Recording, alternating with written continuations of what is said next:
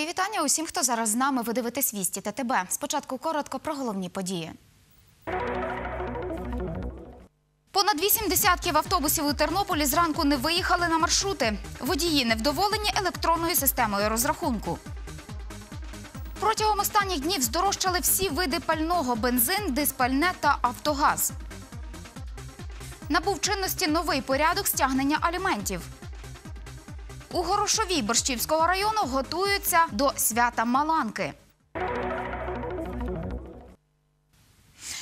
Розпочинаємо з теми, яку сьогодні активно обговорюють тернополяни. Понад вісім десятків автобусів Тернополі зранку не виїхали на маршрути. Причиною страйку стала запроваджена з 2 січня електронна система розрахунку. Водії нарікають, що не встигають слідкувати за дорогою і проводити розрахунок за проїзд через валідатор. Детальніше у сюжеті Богдана Буденчука. Тернополяни сьогодні добирались на роботу чи навчання переповненими тролейбусами або ж пішки. Нині були затори, е, автобуси взагалі не їздили, тільки то я тролейбусом єлі-єлі добрався сюди. Як не як сів маршруткою, я собі доїхав, то що зробив? Нічого, напевно, що не зручно. А що, а що зробив?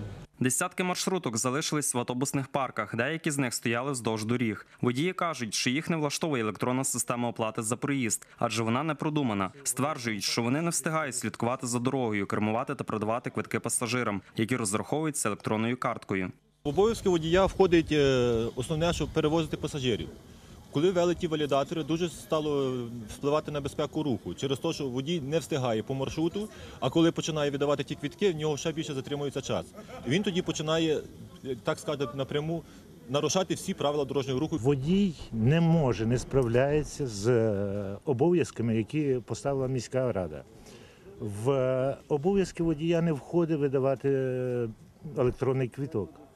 Електронний квіток фізично, фізично водій не може давати, оскільки е, водію забороняється давати білети під час руху.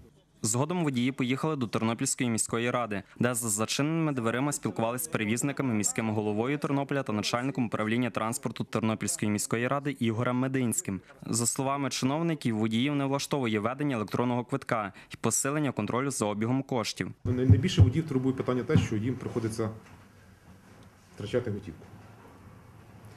Більше того, ми маємо факти, коли протягом трьох днів видавалися квитки е, підроблені, не такого зірця, які мають бути. Було звернення про охоронні органи про початок перевірки. Це для нас є новація. Раніше такого не було ні в Тернополі, ніде. Але це нормальна система, яка працює по всій цивілізованій Європі. Зараз ми вирішили таким чином, що ми беремо перехідний період до 1 лютого. За цей час е, спробуємо поставити в тестовому режимі додаткові щитувачі е, оплати проїзду.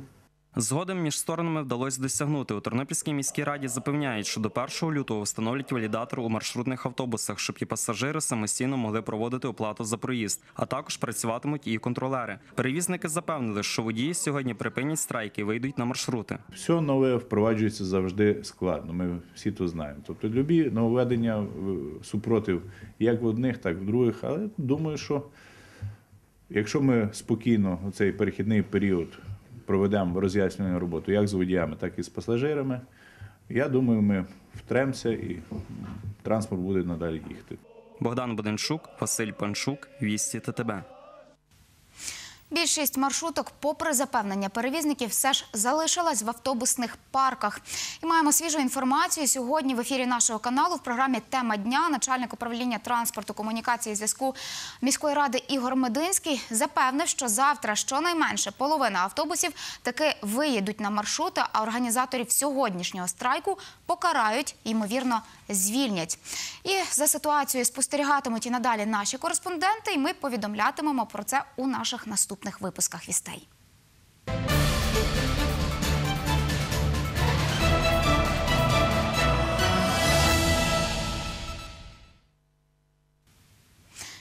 Протягом останніх днів здорожчали всі види пального: бензин, диспальне та автогаз. Літр бензину категорії А95 у середньому по Україні 10 січня вранці коштував 28-30 гривень. Залежно від заправок, ціна на це пальне коливається від 27 до 32 гривень, тобто зекономити чи переплатити можна майже 5 гривень. Літр дизельного палива обійдеться водіям у середньому у 26 гривень 90 копійок. Ціни на АЗС різняться від 24 гривень 81 копійки до 29 гривень. Газ для автомобілів коштує в середньому 12 гривень і 72 копійки. Мінімальна вартість на мережевих АЗС 11 гривень 85 копійок і максимальна 13 гривень 59 копійок. Якщо людина заробляє в місяць 4 тисячі гривень, я рахую, що пальне повинно бути десь в районі 16 гривень. Так, щоб рахувати грубому, то йде десь до 3 тисячі гривень на місяць іде. Та як сильно ціни пішли доволі сильно. Ці. Та де вигідно? Мені не вигідно, якби було вигідно, то би то де так дорого. Трошки, трошки є. 26,50, як бачите. Е, Це найнижча ціна, чи середня, чи найбільша? Це ще може бути. Яка найбільша ціна? Е, на ВОК 29, 28, як, як яка. Скажіть, будь ласка, за такою ціною, чи вигідно вам їздити автомобілем? Ну, вигідно.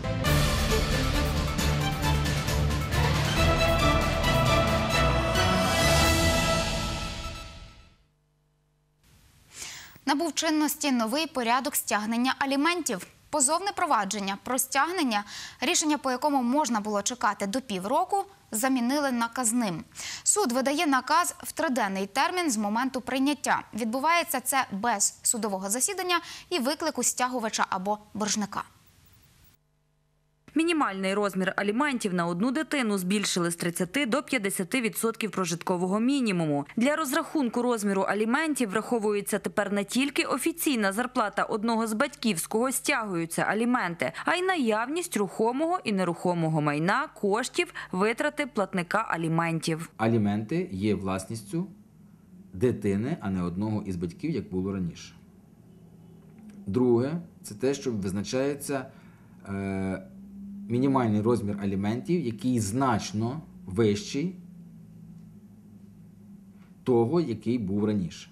Мінімальний розмір аліментів, що визначається у частці від доходу боржника, становить на одну дитину 1 четверта доходу, на дві дитини 1 третя доходу, і на три і більше дітей половина доходу платника аліментів.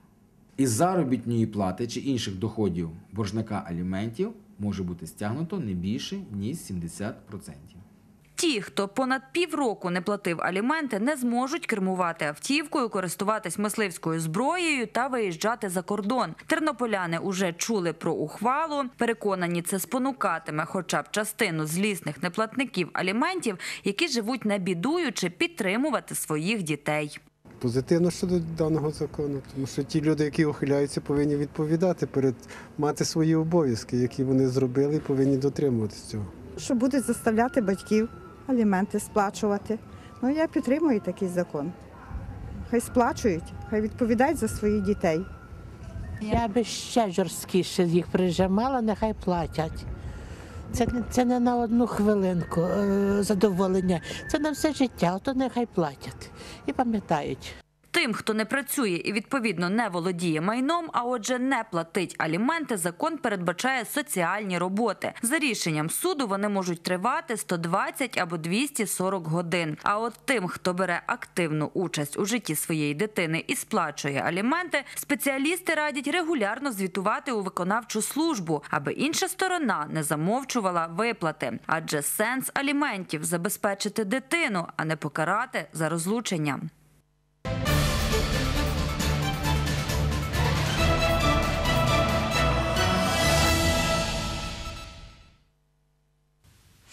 На різдвяні свята на Тернопільщину завітали діти зі сходу України.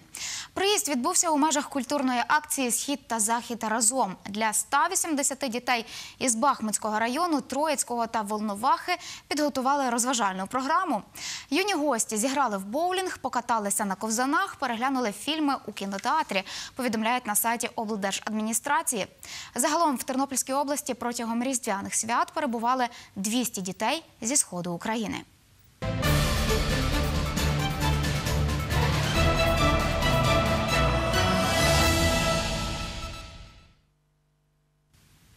13 січня у день преподобної Меланії у деяких українських містах і селах згадують давній звичай – водять маланку. Близько півсотні років на Тернопільщині особливо гучно і театралізовано свято Маланки відзначають у селі Горошова Борщівського району. Там майже всі місцеві жителі переодягаються у різні костюми та маски і з першими сутінками виходять на вулицю. Театралізовані дійства тривають впродовж ночі й до обіду наступного дня. Подивитися на цей звичай щороку приїжджають гості навіть із-за кордону. Цьогоріч о 18-й годині свято Маланки розпочнуть святкувати у селі Устя, а о 20-й годині у Горошовій. Детальніше про те, як забавлятимуться люди, телефоном розповість староста села Горошова Марія Затолочна. В ніч 13 січня, 20 годині, в селі Горошова Борщівського району Тернопільської області буде відбуватися свято Маланки в центрі села. На сцені господар з господинею і дочкою очікують Маланку з парубками. Маланка з хлопцями пляшуть до дівчини, по традиції танцюють, а потім ідуть маланкувати до дівчат. А ми всі залишаємося з різними композиціями святкувати. З давніх давен 60-х років наше село підтримує традицію Маланки. Маланку передягають хлопця у жіночий давній стрій. Стародавню сорочку з плечками, лейбик, підтячка, горботка, запаска, крайка. На голову хлопця обмотують пруги і їх прикрашають різними квітами. До нас з'їхаються святкувати свято Маланки з усіх куточків України. А у четвер, 11 січня, у Тернопільському обласному краєзнавчому музеї відбудеться містерія різдвяного свята Луна музеєм коляда. Розпочнеться дійство о 14-й годині. У програмі виступи вертепів, тематичні екскурсії, різдвяні майстер-класи із зав'язування жіночої хустки, з виготовлення різдвяної листівки, витинанки і поштового конверта. На завершення свята флешмоб Різдвяна зірка.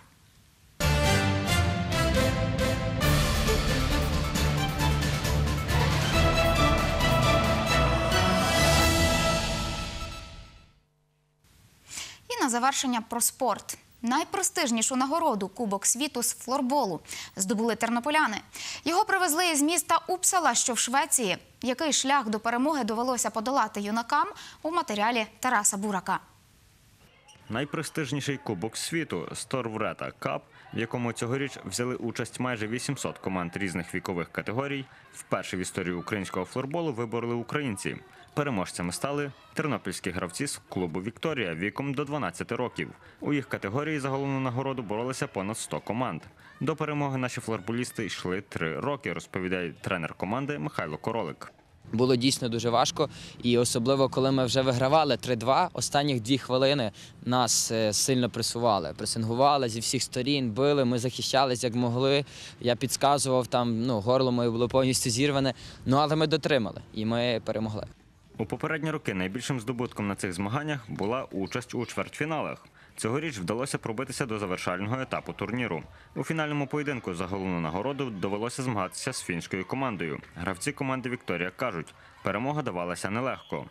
Ми грали, їх пресингували з самої першої хвилини, щоб вони знали, що ми просто їх там не здамося, е, що ця гра буде нелегкою для них.